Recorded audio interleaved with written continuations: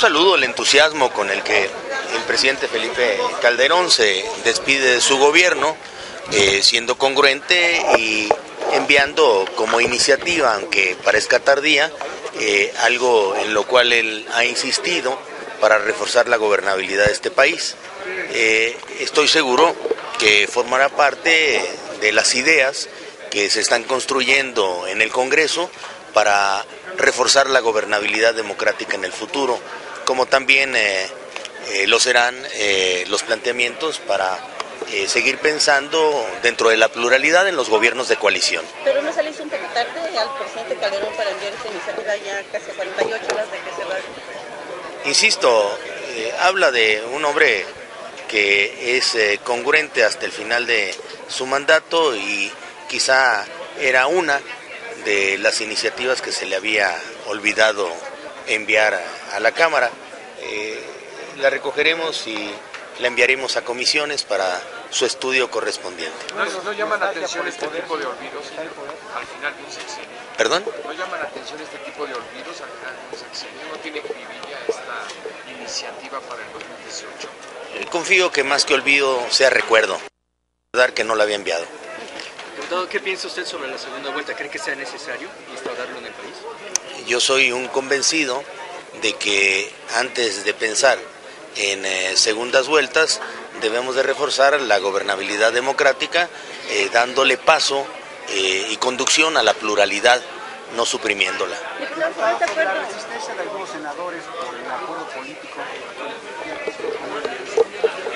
Estoy seguro que cuando lo conozcan eh, en sus términos, eh, les generará entusiasmo por eh, aprobarlo y hacerlo iniciativas de ley que construyan un nuevo ambiente de concordia en el país que tanto nos surge a todos para que lleguen los acuerdos, con eso las reformas y México progrese. Que el PAN, digo que el parte del y de Nueva Alianza a, este proyecto que se está presentando. Y confío que todos los grupos parlamentarios, así como los partidos políticos correspondientes, que eh, observen en este pacto eh, por México eh, la conveniencia de atenderlo, lo suscriban y actúen en consecuencia.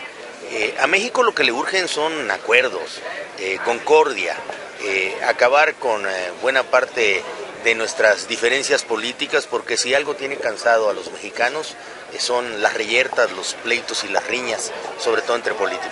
Diputado, de concretarse este acuerdo político, ¿qué reformas tendrían prioridad? Eh, veo que buena parte del acuerdo político o del pacto por México eh, depende de una reforma sendaria para poder pues cumplir con buena con la mayoría de los propósitos si queremos atender un eh, seguro de desempleo, pues necesariamente necesitamos recursos para que eso suceda. Eh, si queremos eh, atender también la atención, no nada más a quienes son de 70 años y más, sino 65 años y más, pues se necesitan recursos para ello. Si queremos también un seguro universal que dé verdadera cobertura, a todos los mexicanos, necesitaremos recursos.